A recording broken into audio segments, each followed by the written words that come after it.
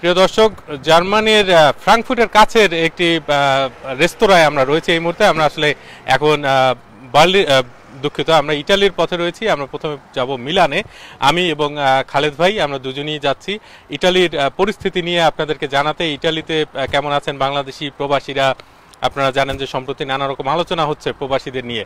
তো এই বিষয়ে আমরা কি করব সেটা আপনাদেরকে জানাতে এই ফেসবুক লাইভ এবং আমার সঙ্গে আছেন খালেদ মহিউদ্দিন। খালেদ ভাই তাকেই জিজ্ঞেস করব যে খালেদ ভাই এই যে হঠাৎ করে আমাদের ইটালি যাওয়ার সিদ্ধান্ত এটা কেন নেওয়া হলো?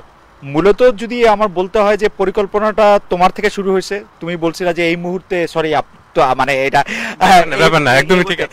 মানে যেটা আসলে বলা শুরু হয়েছিল যে মানে এই মুহূর্তে ইতালিতে যখন আসলে ফ্লাইটটা দুইশো ছাপ্পান্ন জনের ফ্লাইটের মধ্যে একুশ জনকে পাওয়া গেল হচ্ছে করোনা পজিটিভ তখন আমরা আসলে নিজেদের মধ্যে আলোচনা করছিলাম যে তারা আসলে এই পরীক্ষাটা কীভাবে করেছিল। এটা কি কোনো র্যাপিড টেস্ট করেছিল? তাদেরকে কি আসলে কোনো একটা জায়গায় নিয়ে গিয়ে তাদেরকে পিসিআর টেস্ট করা হয়েছে? তাদেরকে কি আসলে যাদের ইতালিয়ার পাসপোর্ট আছে তাদের প্রতি একরকম ব্যবহার করা হয়েছে নাকি অন্যরকম ব্যবহার করেছে এই করতে করতে কিন্তু কাতার এয়ারওয়েজের আরেকটা ফ্লাইটকে ফিরে দেওয়া হলো। কিন্তু আমরা কিন্তু এই প্রশ্নগুলির জবাব আসলে পুরোপুরি পাই নাই। আবার অন্য অনেকগুলি বিষয় আমরা জানতে পারলাম যেখানে আসলে বাংলাদেশিদের সংখ্যা বেশি সেখানে আসলে সংক্রমণের সংখ্যাও একটু বাড়ছে বলে ইতালিয়ানরা বলছিলেন। এবং আপনি দেখেন যে সকল ধরনের কূটনৈতিক নর্মসের তোয়াক্কা না করে এটা কিন্তু ইতালির একজন খুব সরকারের একজন মুখপাত্র আমি বলব, কন্তে, যিনি মন্ত্রী ওদের তিনি কিন্তু এটা ভাইরাসবাহী বোমার সাথে, আপনি যে তুমি যে নিউজটা হ্যাঁ তুমি যে নিউজটা শেয়ার দিয়েছিলে, তো সেইটাও কিন্তু হয়েছে। তো আমরা আসলে ব্যাপারটা এরকম সরাসরি দেখতে চাচ্ছি যে কি কিসের প্রেক্ষিতে এবং বারবারই কিন্তু বলা হয়েছে যে বাংলাদেশের যারা আছেন, যারা সংক্রমিত হচ্ছেন বা যারা এক জায়গায় রয়েছেন, তারা এই আইন কানুনগুলি মানার ব্যাপারে আসলে একটু রিল্যাক্টেন্ট তারা অনেক সময় মানছেন মানছেন না। আমরা সরজমিনে এই পরিস্থিতিগুলি দেখতে যাই। এখন আমরা যে প্ল্যানটা করেছি সেই প্ল্যানটা হচ্ছে অনেকটা এরকম যে আমরা বন থেকে রওনা হয়েছি গাড়িতে করে। আমরা সুইজারল্যান্ডের ভিতর দিয়ে প্রথমে আমরা মিলান শহরে যাব। আজ আমরা মিলান শহরে থাকছি। তারপরে তারপরের প্ল্যানটা হচ্ছে মানে এখান থেকে আটশো আট কিলোমিটার হচ্ছে বন থেকে মিলান এবং মিলানে আজকে রাতে থাকার পরে কালকে আমরা মিলানের পরিস্থিতি তুলে ধরবো। দর্শকদেরকে অবশ্যই ফেসবুক লাইভ তো থাকবেই আপনি যেহেতু আছেন এবং তারপরে মিলান থেকে আমরা যাচ্ছি হচ্ছে ভেনিসে এবং ভেনিসেও একলা থাকার পরিকল্পনা আছে এবং ভেনিসের পরিস্থিতি তুলে ধরার একটা ব্যাপার আছে। কারণ ভেনিসে তো অনেক প্রবাসী বাংলাদেশি রয়েছে, আপনি তো জানেন। রাইট ভেনিসের পরে আমরা রোমে যাচ্ছি। রাজধানী শহর এবং সেখানে অবশ্যই সবচেয়ে বেশি সংখ্যক বাংলাদেশি থাকছেন। আমরা যেটা দেখছিলাম যে সেটা মূল কনসার্ন যে এখন যে এত বেশি মানুষ একটি ভাড়া করা বিমানে এবং সেই ভাড়া করা বিমানে কিন্তু আসলে ভাড়া আরও অনেক বেশি পড়ে। তারপরেও যে ডেসপারেটলি মানুষ আসতে চাইছিলেন, কারণ এটা হচ্ছে একটা সামার আপনারা দেখতে পাচ্ছেন ঝকঝকে রোদ চারদিকে। এই সামারের সময় কিন্তু ইতালিতে সবচেয়ে বেশি কাজ থাকে। এবং যারা কাজ করছেন তাদের মধ্যে সামারে সবচেয়ে বেশি আয় রোজগারের সুযোগটা থাকে। তার ফলে এই সময়েই এই আশাটার প্রবণতাটা আমরা একটু বেশি দেখতে পেয়েছি। যারা ইটালিতে আছেন সামারের অলরেডি দুটো মাস কমপক্ষে আসলে নষ্ট হয়েছে তারাও বা কেমনভাবে জীবিকা অর্জন করছেন সরকার তাদেরকে কি সহায়তা দিলেন তারা কি ভাবছেন? যারা আটকে গেছেন তাদের অন্যদের কাহিনীটা কীরকম সেটা? আমরা আসলে ইতালিস্থ যে বাংলাদেশি দূতাবাস আছে সেই দূতাবাসের যিনি প্রধান আছেন অর্থাৎ রাষ্ট্রদূত মহোদয়ের সঙ্গে আমরা আসলে কথা বলতে চেষ্টা করব আমরা যোগাযোগের চেষ্টা করছি। আমরা যোগাযোগের চেষ্টা করছি যে এই ক্ষেত্রে সরকারের সাথে সরকার অর্থাৎ ইতালীয় সরকারের সাথে বাংলাদেশ সরকার আলোচনা করে বিষয়টি একটু ভালো করে তুলে ধরবে কিনা। কারণ অনেক কিছু আছে যেটা একটা যে- যেটার ক্ষেত্রে আসলে আমাদের একটু ফেস সেভিং এর দরকার আছে। কারণ ইতালিয়ানদের মধ্যে এরকম একটা ধারণা হয়েছে। আমরা ইতালিয়ান একজন সাংবাদিকের সাথে কথা বলছিলাম পলাশ খান। পলাশ খান কিন্তু আমাদের বলছিলেন যে বাংলাদেশিদের দেখে কিন্তু একটু হলেও বাঁকা চোখে তারা তাকাচ্ছেন বা তারা বলতে চেষ্টা করছেন। এই বিষয়গুলো আমরা একটু আসলে বুঝতে চেষ্টা করব। পলাশ রহমান রয়েছেন ইটালির ভেনিস শহরে এবং আমরা তার সঙ্গে দেখা হবে সেখানে। দর্শক আপনাদের যদি কোনো প্রত্যাশা থাকে আপনাদের যদি সুনির্দিষ্ট কোনো প্রশ্ন থাকে ইটালি বিষয়ে যেটা আপনারা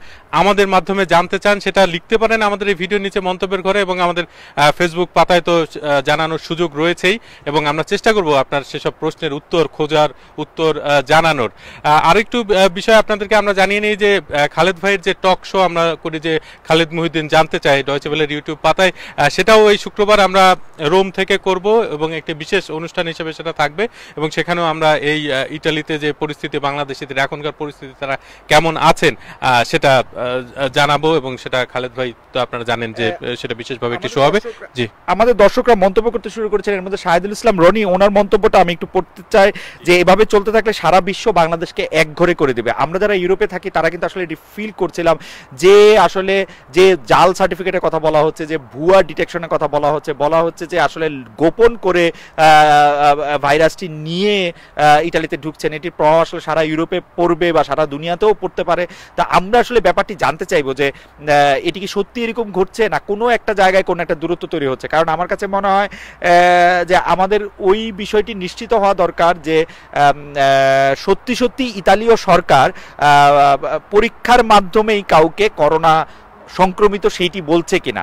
সত্যি পরীক্ষার কথা আমি এটি বলছি কারণ রেপিড টেস্ট যেটি সেই রেপিড টেস্টের ফলাফলের মধ্যে কিন্তু এররের সংখ্যা আহ, ভুল জায়গার ভুল একটা আশঙ্কা আছে। আর অন্যদিকে এটি ঠিক আসলে ভুল না। এটি হচ্ছে আপনার মধ্যে বিন্দু মাত্র কোনো সম্ভাবনা থাকলেও সেটি ওই রেপিড টেস্টের ক্ষেত্রে ডিটেক্ট করা হয় যাতে আপনি পরে আরেকটা ভালো টেস্ট করে সেটিকে আপনি দেখতে পারেন। এবং যাদেরকে আটকে দেওয়া হয়েছে তারা আসলে কেমন আছেন সেগুলি আমাদের আসলে একটু দেখা দরকার আছে। সেজন্য আমরা বড় তিনটি শহর মিলান ভেনিস রোম অ্যাটলিস্ট আমরা দেখতে চেষ্টা করব। আমরা যখন ফিরে আসব তখন যদি এর মধ্যেও আসলে কোনো খবর আমরা এরকম পাই যে এখানে পরিস্থিতি আমরা জানতে পারব কারোর সাথে অবশ্যই নির্দিষ্ট সামাজিক দূরত্ব এবং অন্য কিছু মেনে, কারণ তোমার এবং আমার শারীরিক এনেও অনেক দর্শক আসলে শারীরিক উদ্বেগ উদ্বেগ জানাচ্ছেন। আমি আমি আমি আসলে মানে দর্শকদের মতামত দেখতে পাচ্ছিলাম তো সেই জন্য সেজন্য সেজন্য মানে সেই দূরত্ব বজায় রেখে আমরা আসলে চেষ্টা করব এর মাঝখানেও যদি আমরা কোনো শহরে কোনো আপডেট দিতে পারি, যেহেতু আমরা গাড়ি নিয়েই যাচ্ছি আরাফাত, কি মনে হয় এখন জার্মান সময় পৌনে পাঁচটার মতো বাজে। আমরা আমরা কিছুটা থেমে থেমে অবশ্যই যাব কারণ দুই ঘণ্টার বেশি গাড়ি নাগারের চালানো নিষেধ একটা পরামর্শ রয়েছে, হ্যাঁ আমাদের ক্ষেত্রে যেটা হয়েছে যে আমরা অবশ্যই আমাদের অফিসের গাড়ি নিয়ে যাচ্ছি কিন্তু সেক্ষেত্রেও প্রতি দু ঘণ্টা তিন ঘণ্টা পরে আমাদেরকে অন্তত বিরতি দেওয়ার একটি ব্যাপার রয়েছে যাতে আমরা টানা গাড়ি না চালাই। তাও আমরা সব হিসেব করে যেটা দেখেছি যে আমরা আজকে রাত বারোটার মধ্যে ইটালির সময় আমরা আসলে মিলানে পৌঁছাবো ফলে কালকে সকালে আহ, সেখান থেকে তো আমরা লাইভে যাব এবং যাওয়ার পথে সুইজারল্যান্ডের মধ্য দিয়ে আমরা যাচ্ছি ফলে সেখান থেকেও আপনাদেরকে একটি আপডেট আমরা দিতে পারি। একটি বিষয়ে খালেদ ভাই, যেটা আপনি শুক্রবার কথা বলছিলেন, পলাশ রহমানের সঙ্গে। পলাশ রহমান কিন্তু বলেছেন যে এয়ারপোর্টে আসলে র্যাপিড টেস্ট করার পর তাদেরকে নিয়ে গিয়ে আবারও টেস্ট করা হচ্ছে আর কি। ইটালিতে মানে এবং ওই পিসিআর পদ্ধতিতে তখন টেস্ট করছে, যাতে মানে আসলে করোনা সংক্রমণ হচ্ছে কিনা। যে জিনিসটা আমি দেখতে পাচ্ছি যে, আসলে ইটালির মধ্যে এক ধরনের আতঙ্ক রয়েছে মানে ইটালি সরকারের মধ্যে। কারণ তারা যেভাবে করোনার কারণে ভুগেছে, বিশ্বের অন্যতম একটি দেশ, যেখানে হাজার হাজার মানুষ করোনায় মারা গেছে। হয়তো এই আতঙ্কের কারণে কি বাংলাদেশিদের উপরে একটু বেশি তারা মানে কড়াকড়ি করার চেষ্টা করছে? আপনাকে মনে হয়? সেটা তো কিছুটা একটা আছে। আপনি দেখেন আমাদের একজন দর্শক, আতঙ্কের একটা জায়গা আছে। আমাদের একজন দর্শক শামস সুমন। উনি বলছেন did you get any statement from BD foreign minister আমাদের পররাষ্ট্র মন্ত্রী কিন্তু একটি স্টেটমেন্ট এরকম দিয়েছেন যে, বাংলাদেশ থেকে বিদেশে আসলে ফ্লাই করতে গেলে এখন থেকে অবশ্যই করোনা নেগেটিভ একটা সার্টিফিকেটের প্রয়োজন হবে।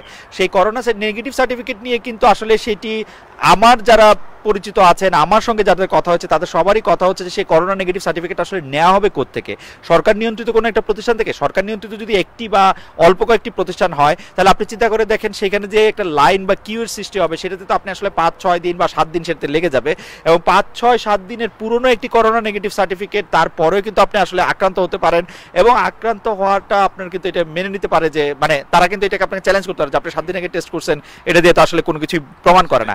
আর অন্যদিকে আমাদের অনেক দর্শক যে বিষয়টি আসলে বেশি করে বলতে চাচ্ছেন যেখানে হচ্ছে এই জেকেজি যে আছে যেটি আরিফুল হক আরিফ আরি আরিফ চৌধুরী এবং এবং এবং সাবরিনা চৌধুরী তাদের তাদের তাদের ডক্টর সাবরিনা চৌধুরী তাদের যে তাদের যে প্রতিষ্ঠানটি এবং রিজেন্ট হাসপাতাল যেটি মোহাম্মদ শাহেদ জনাব মোহাম্মদ শাহেদ তার তার যে প্রতিষ্ঠানটি তারা যে এত ভুয়া সার্টিফিকেট দিয়েছে তার মানে তো এটি একদম স্পষ্ট যে আসলে ভুয়া সার্টিফিকেট দেওয়া হয়। এবং এই গণমাধ্যমের এইসব খবরগুলি কিন্তু আপনি জানেন আরাফাত আপনি অনেকদিন ধরে ইউরোপে আছেন।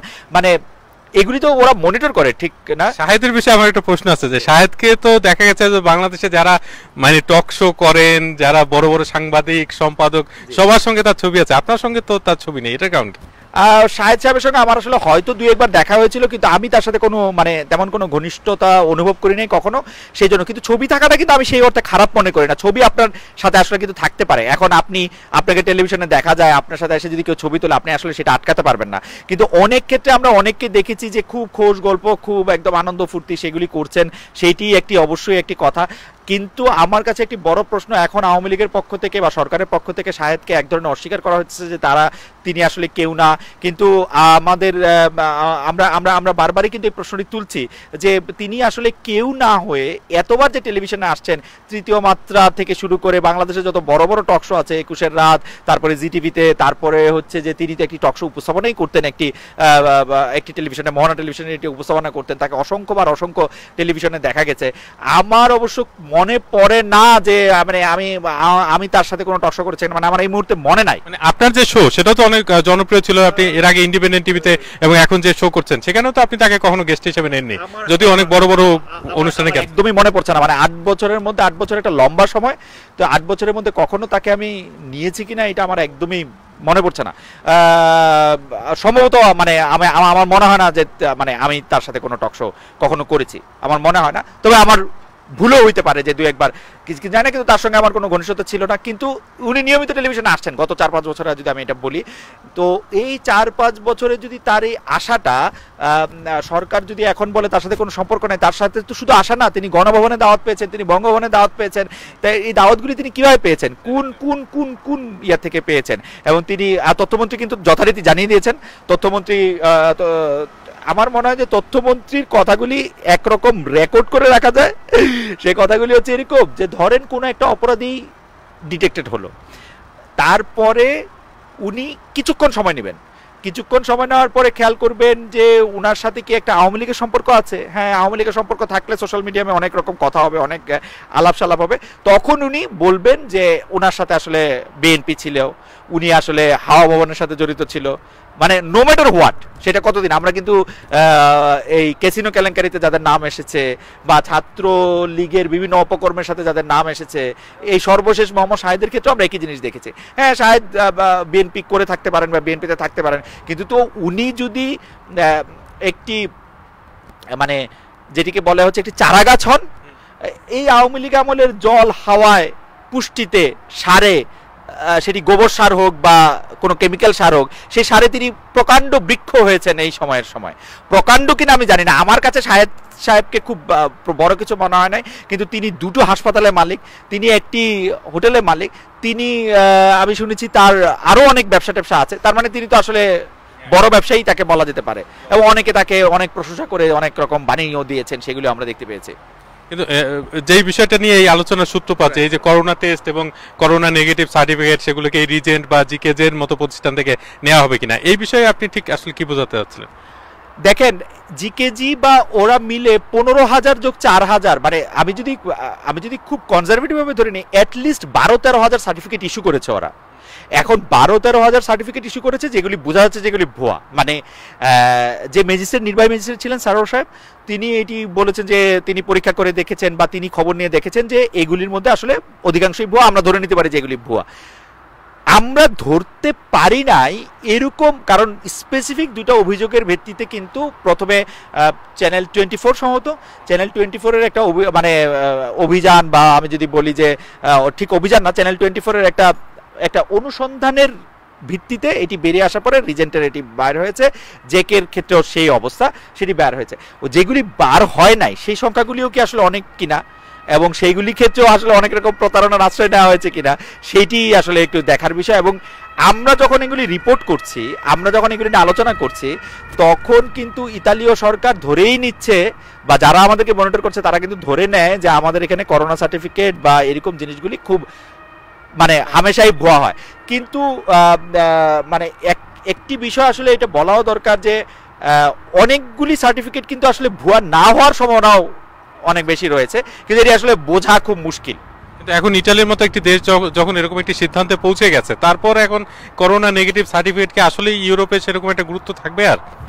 করোনা সার্টিফিকেটের গুরুত্ব এখন যদি সরকার এটি মান নিয়ন্ত্রণ করতে পারে, সরকারকে এটিকে সাংঘাতিকভাবে মান নিয়ন্ত্রণ করতে পারে সরকারকে পরীক্ষা করে দেখাতে হবে যে তারা আসলে এই ব্যাপারে সিরিয়াস এখন এই ব্যাপারে আপনি সিরিয়াস কেমনে হবেন? এই ব্যাপারে আপনি সিরিয়াস হওয়ার সময় আপনি যে রিজেন্টের সাথে চুক্তি করছিলেন, আপনি জনাব স্বাস্থ্য মন্ত্রণালয়, আপনি স্বাস্থ্য মন্ত্রণালয় চুক্তি করার সময় বা আপনি স্বাস্থ্য অধিদপ্তর আপনি চুক্তি করার সময় আপনি অনেক বড় বড় কথা বলেছেন, কিন্তু ওই হাসপাতালটি আসলে কি হাসপাতাল? তার অনুমোদন আছে কিনা? তার লাইসেন্স আছে কিনা? বা সে আসলে কোভিড রোগীদের আসলে পরীক্ষা করতে পারবে কিনা? বা তাকে আপনি মনিটর করবেন কিনা? তাকে আপনি বলে দিয়েছেন যে আপনি তাকে কিছু অর্থ সাহায্য করবেন, এই করবেন, সেই করবেন, এবং তার সমস্ত ব্যয় আপনি নির্বাহ করবেন। তারপরেও সে এই কোভিড পরীক্ষা করে টাকা নিচ্ছে, সেটি দেখা সামর্থ্য আপনার নাই। একই ঘটনা আপনার জেকেজির ক্ষেত্রেও ঘটছে। তারা নমুনা সংগ্রহ করে সেটা রাস্তায় ফেলে দিচ্ছে সেটা আপনার দেখার কোনো সামর্থ্য নাই। মানে এইটি যেন না হয়। যখন আপনার এটি না হবে, তখন কিন্তু আপনার এই কথা বা মানে ওরাও বিশ্বাস করবে। আপনি দর্শকদের মতামতের দিকে আমার একটু দৃষ্টি করছেন, আমি একটু দেখি। আমরা ইতালির শ্রমবাজার হারাবো এমন আশঙ্কা আছে কি? সেটি প্রশ্ন করছেন মামুন হোসেন। ইশিয়াত আহমেদ আহ, ইশিয়াত আহমেদ আমি উনি প্রশ্ন করেছেন আগের এই ভুয়া রিপোর্টগুলির অফিসিয়াল যে তথ্য আমরা বুলেটিনে প্রতিদিন দেখি এটার সাথে এটা মিশেছে কিনা সেটি একটি পরিষ্কার করা উচিত না। এটা মোটামুটি আমাদের আলোচনার মধ্যে এটি আসছে। আপনি যদি তবু একটু মন্তব্য করতেন সেটি হচ্ছে সেটি হচ্ছে ইতালি, জাপান সহ অনেক দেশে এইভাবে চলতে থাকলে বাংলাদেশ সারা পৃথিবী থেকে বিচ্ছিন্ন হয়ে যাবে। প্রায় একই ধরনের মতামত আরেকজন করেছিলেন। হারুন রশিদ পারভেজ এই মতামত করেছেন। আপনি যদি একটু আসলে এটা এত তাড়াতাড়ি বলাটা কঠিন যে একেবারে বাংলাদেশকে আলাদা করে ফেলবে কিনা, শুধুমাত্র এই একটা টেস্টের জন্য। ইটালি সরকারের, আমি যেটা বুঝেছি যে ইটালি সরকার আসলে একটা আতঙ্ক তো কাজ করেই যে বেশ কয়েক হাজার মানুষ সে দেশে মারা গেছে এবং এখন আবার নতুন করে যাতে এই ভাইরাস সংক্রমণ না হয়, সেটা ইটালি সরকার রুখতে চাচ্ছে। কিন্তু তার মানে এই নয় যে শুধুমাত্র বাংলাদেশিদের উপরে ইটালি সরকার আতঙ্ক বা বাংলাদেশিদের দেখলে আরও তেরোটি দেশের ক্ষেত্রে একই রকম নিয়ম ইতালি সরকার তৈরি করেছে। এবং ইটালিতে কিন্তু কিছুদিন আগে সাধারণ ক্ষমা ঘোষণা করা হয়েছে। মানে অবৈধভাবে যারা ইটালিতে আছেন, তাদের একটি বড় অংশকে বৈধ করা হবে এবং সেই বৈধতার মধ্যে বাংলাদেশিরাও পড়ছেন। বাংলাদেশি অনেক অবৈধ, তারাও কিন্তু বৈধ হতে পারছেন এই প্রক্রিয়ায়। ফলে ইটালির ম্যান পাওয়ার দরকার আছে, শ্রম শক্তি দরকার আছে, বাংলাদেশিদের দরকার আছে ইটালির ইটালির অর্থনীতি চালানোর জন্য ইটালির কৃষিখাত চালানোর জন্য। ইটালির কৃষিখাতে যদি বাংলাদেশিরা কাজ না করে, তাহলে দেখা যাবে যে আগামী বছর ইটালিতে দুর্ভিক্ষ তৈরি হয়ে যেতে পারে। বা এই বিকল্প শ্রম শক্তি কোথা থেকে নেবে সেটাও বলা কঠিন। ফলে সবকিছু মিলিয়ে কিন্তু খালেদ ভাই এখনই এই সিদ্ধান্তে যাওয়ার সুযোগ নেই যে এক করোনা ভাইরাসের কারণে একেবারে ইটালি বাংলাদেশ থেকে বিচ্ছিন্ন হয়ে যাচ্ছে। সেটা কিন্তু না।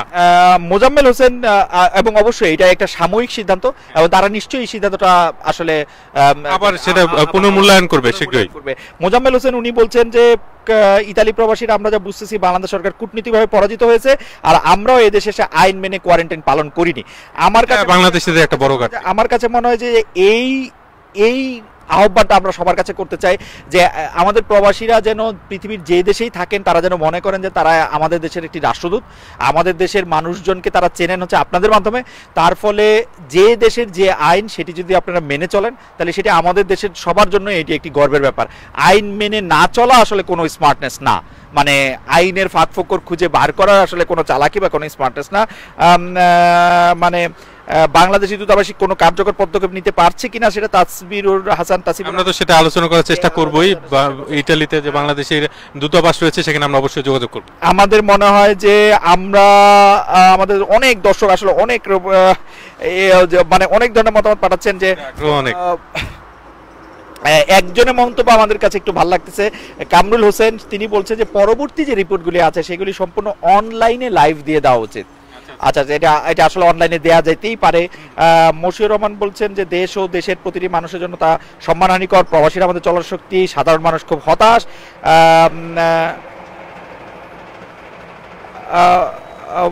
মানে সাহেদের ব্যাপারে অনেক প্রশ্ন। উনি টকশোতে আসছেন।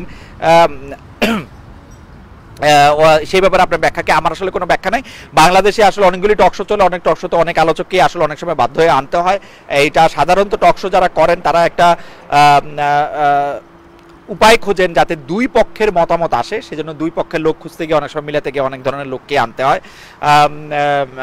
আমাদের ক্ষেত্রে কিন্তু আমরা বলতে পারি যে খালেদ ভাই আপনি আসার পরে আমরা যে টক শো করছি গত চার মাস ধরে আমরা কিন্তু খুবই সিলেক্টিভ এক্ষেত্রে এবং আমরা কিন্তু চেষ্টা করি যাদেরকে আমরা দর্শক হিসেবে আনি আপনি আলোচনা করেন সহকর্মীরা আলোচনা করে এবং এমন একটি পরিস্থিতিতে যাতে আসলে এরকম পরিস্থিতি তৈরি না হয় সেটা কিন্তু চেষ্টা করা হয় আর কি।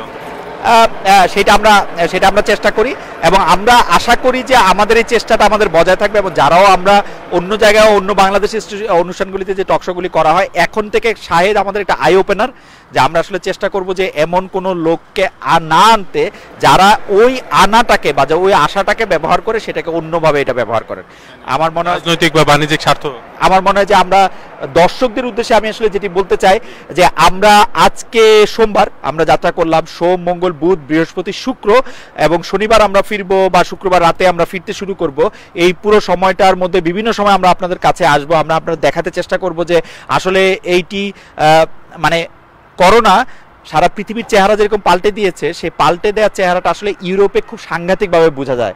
মানে ইউরোপে এখন হাই সামার এখন আসলে চরম আনন্দের সময়, স্কুল, কলেজ বন্ধ, সব জায়গায় একটা হলিডে মুড দর- কথা ছিল, কিন্তু সেই হলিডে মুড কিন্তু নাই। অনেকগুলি রিসোর্ট অনেকগুলি সব কিছু এগুলি খাখা করছে, এবং সেগুলির উপর ভিত্তি করে আমরা যারা মানে আমাদের দেশি যারা দিনে কাজ করে, দিনে রোজগার করে, যারা দিনে খেতেন, তাদের অনেক সমস্যা হচ্ছে এবং তাদের মধ্যে কেউ কেউ আসতেও পারেন নাই। তাদের ওয়ার্ক পারমিটের ব্যাপার আছে। সেগুলির ব্যাপারটাও আসলে একটা বিবেচ্য বিষয়। যারা স্টুডেন্ট আছেন, তাদের কি হবে সেটা একটা কথা। আমেরিকাতে যেমন কথা আছে, যারা অনলাইনে ক্লাস নেবে, তাদেরকে দেশে ফিরে যেতে হবে। ট্রাম্প এরকম হুমকি ধমকি দিয়ে রেখেছেন।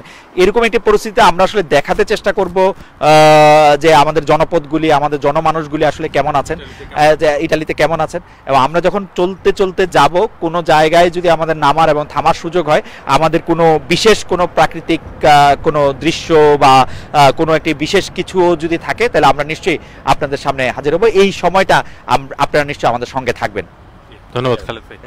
দর্শক তাহলে আমাদের ওয়েবসাইট আমাদের ফেসবুক পাতা আমাদের টুইটার আমাদের ইউটিউব চ্যানেল সর্বত্রই আমাদের পাবেন এবং এই যে ইটালিতে আমাদের যে সফর ইটালিতে আমাদের যে কাভারেজ আমরা দেবো আগামী কয়েকদিন সেটি পেতে আমাদের ওয়েবসাইট এবং ফেসবুক পাতায় অবশ্যই নজর রাখবেন। দেখা হবে আবারও শীঘ্রই।